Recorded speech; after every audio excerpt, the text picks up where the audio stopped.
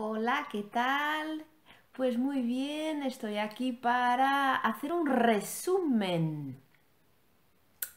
de cómo salió, cómo fue el proyecto en abril Leemos em Espanhol. E eu não vou falar sempre em espanhol porque poderá haver alguém que não, não me entende, mas de vez em quando vou meter a colherada do espanhol pelo meio porque é verdadeiramente isso que eu estou aqui a fazer. Eu estou a fazer um balanço de como correu o projeto que eu pus em marcha em abril para ler autores espanhóis na língua original ou então traduzidos. E neste balanço eu vou, uh, sobretudo, falar das leituras que me foram chegando através das redes sociais, mensagens, etc., de pessoas que, com muita alegria minha, um, aderiram ao projeto, uh, leram alguma coisa em espanhol, ou melhor, uh, não sei se leram, acho que leram em português, mas leram de autores, em, uh, de autores espanhóis, e isso fez com que eu ficasse mesmo muito contente. E desde já quero agradecer a toda a gente que participou. Ora, eu tenho aqui no meu caderninho aquilo que eu fui vendo, uh, como disse, nas redes sociais e em mensagens, blogs, vídeos, vídeos do YouTube, etc., poderá haver, uh, poderá haver gente que eu não tenho aqui anotado, porque eu não sou a melhor pessoa, não sou a pessoa mais atenta às redes sociais. Uh, e poderá, ser, poderá ter-me escapado alguma coisa. Se me, se me escapou, em primeiro lugar, peço desculpa. Em segundo, uh, pois, uh, digam-me aí nos comentários se houve gente que participou no projeto e que eu não vou mencionar, por favor que o digam aí nos comentários, que eu vou-me ficar ainda mais contente, vou agradecer e pedir desculpa por não ter dado por isso em nenhum lado. Ora, o que é que eu tenho aqui anotado? Tenho anotado uh, o nome das pessoas que participaram no meu projeto e as correspondentes leituras, ou seja, as obras que essas pessoas leram durante o mês de abril para o projeto En Abril Leemos em Espanhol. E em primeiro lugar, eu vou agradecer e mesmo mesmo do fundo do coração. E é a primeira coisa que eu quero dizer é que este foi o segundo ano em que eu pus em marcha o projeto. Eu pulo o ano passado. Uh, filo no blog e claro que é, essa é uma das, se não for a principal razão pela qual eu migrei do blog para o YouTube, do, da blogosfera para o YouTube, porque verdadeiramente quando eu pus em marcha o, o projeto ano passado, muito pouquinha gente me mostrou que, te, que tinha participado nesse, nesse mesmo projeto, ou seja, foi quase um projeto individual. E não é isso que eu quero, e ninguém acha que ninguém quer, quando põe um projeto em marcha, ninguém quer que o projeto seja apenas seu. Uh, se o é, diz logo que é apenas seu, mas estes projetos que nós pomos aqui em prática durante um mês ou uma, uma temporada ou etc., são projetos para nós uh, participarmos, obviamente, mas também para que muito mais gente o faça. E sendo assim, uh, essa é logo a primeira grande diferença: é que este ano, a primeira vez que eu pus o projeto em marcha aqui no mundo do YouTube, houve gente que sim, que ouviu o meu chamamento e participou. E a essas pessoas eu quero mesmo muito, muito, muito agradecer porque fizeram-me, eh, como eu já disse, ficar muito feliz, orgulhosa e, uh, e por que não uh, fazer ver que do outro lado da fronteira também há gente que escreve muito bem e que merece ser reconhecida e merece ser lida. Obviamente que eu sei que houve gente que queria participar também no projeto, mas por esta ou por aquela razão não conseguiu e não há problema nenhum, não fico nada triste nem nada chateada, pelo contrário, eu sei perfeitamente que a vida mete-se no meio das nossas leituras e que nem sempre é possível. E para além disso, abril foi um mês com imensos projetos e, e, e não deu para participar em todos. Eu própria não participei em todos, não participei, por exemplo, no projeto da Tita da Luz e Literatura em Abril. Não participei e gostava muito de participar no projeto da Raquel sobre ler autores brasileiros, não consegui fazê-lo e não sei se me estou a esquecer de algo mais. Mas uh, a essas pessoas não há problema se quiserem continuar a usar a hashtag que eu depois deixo por aqui. Obviamente que não será em abril, mas poderão ler em, e, e, e, ler em espanhol, continuar a ler autores espanhóis, que é isso que eu também quero aqui neste meu canal. Mas depois de tudo isto, vou uh, dizer as pessoas que eu tenho aqui anotadas, agradecer-vos mesmo muito por terem participado, como a Carla Tomé, Uh, a Bárbara Ferreira do blog uh, Bárbara Reviews Books, acho que é assim que se chama, a Patrícia Atita uh, do canal O Prazer das Coisas, a Graça Feiteira, a Helena Correia do, de Livrólicos, da página da Instagram Livrólicos, a Patrícia do, do blog Ler Por Aí, Uh, leituras da Paloca também leu uh, alguma coisa, também participou. A Leonor Coelho, a Silvéria, o André Nuno, a Filomena Vitorino, a Graça acho que já falei, não já? Já falei, mas ela leu dois livros, a Fábio Valente, a Cristina do blog Capa Mole, a Ana Azenha, a Elisa Miúda Geek, a Paula, a Zé, que, que, que, comenta por aqui com a Zélia Lopes e a Mafalda do canal A Outra Mafalda. Estas foram as pessoas que eu vi que de uma forma ou de outra publicitaram a participação no projeto. Agradeço mesmo muito vocês terem participado e fico uh, um bocadinho orgulhosa porque não foi só o meu projeto, tornou-se, ganhou asas e chegou a outras casas. E uh, destas pessoas que participaram, eu destaquei aqui dois, dois não, quatro livros que foram aqueles que mais foram lidos, ou seja, foram lidos por mais do que uma pessoa. Uh, Nada, de Carmen Laforet, foi lido por duas pessoas e depois se você, eu, e, e, estes livros que eu vos vou mostrar eu já li ou então estou em vias de.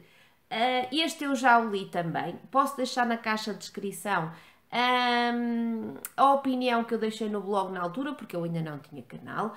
É uma obra que não é fácil de ler, mas é uma obra fundamental na literatura espanhola.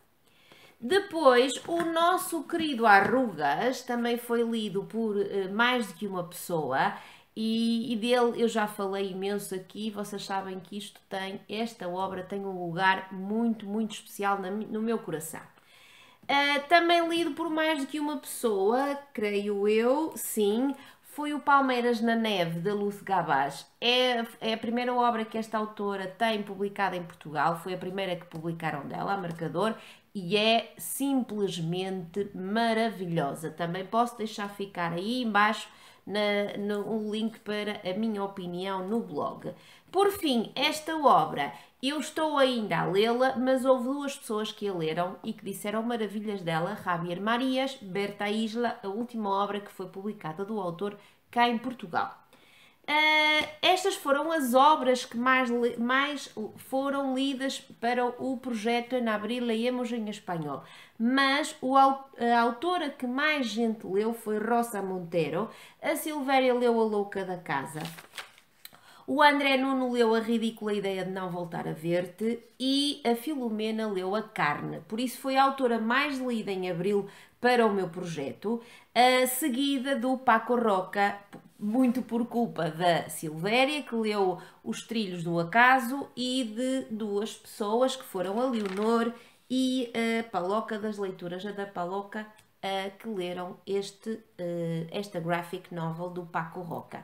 E depois, uh, os outros autores que eu tenho por aqui assinalados foi só uma participação de cada pessoa, ou seja, no total. Ai, não, não, estou a esquecer-me que o Carlos Rui Zafón também foi lido, foi lido por duas pessoas, duas obras distintas, mas a Cristina leu o Marina e a Fábio leu o Prisioneiro do Céu. Ora, isto para dar-vos assim um resumo uh, do que foi lido uh, para o projeto. Eu já agradeci, mas volto a agradecer. Digo-vos que muito provavelmente no próximo ano, se tudo uh, estiver bem, não é? Uh, eu voltarei a pôr em prática e a realizar, organizar este projeto em abril, uh, porque gosto muito e porque verdadeiramente o espanhol tem uma importância bastante grande na minha vida, porque foi através do espanhol que eu ganhei estabilidade profissional. Coisa que eu, uh, na altura em que deu-me assim na cabeça que, por que não uh, estudar mais uma língua estrangeira, um, filo assim, como muitas vezes são eh, decisões feitas na minha vida, assim, de repente lembro-me de andar e depois quando me meto numa coisa é para fazê-la e nisso há muita determinação. E o espanhol deu-me estabilidade profissional que o português e o inglês não me estavam a dar na altura.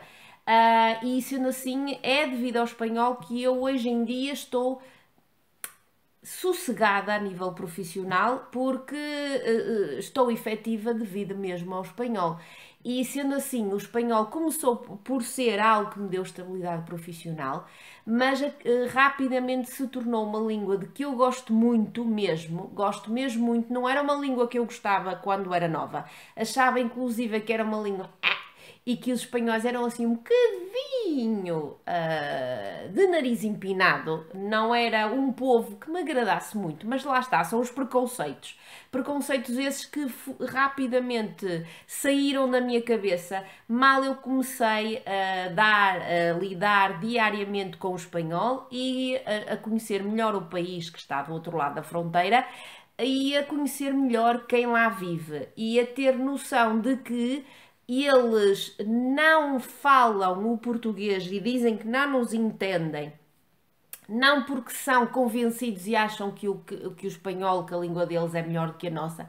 Não, pelo contrário, dei-me conta e tenho casos de grandes amigas que me dão também essa informação uh, de que os espanhóis, a nível fonológico, ou seja, eles não são capazes de identificar e de um, pronunciar sons que nós portugueses somos. Eles não são capazes de dizer o Z, o G, o V.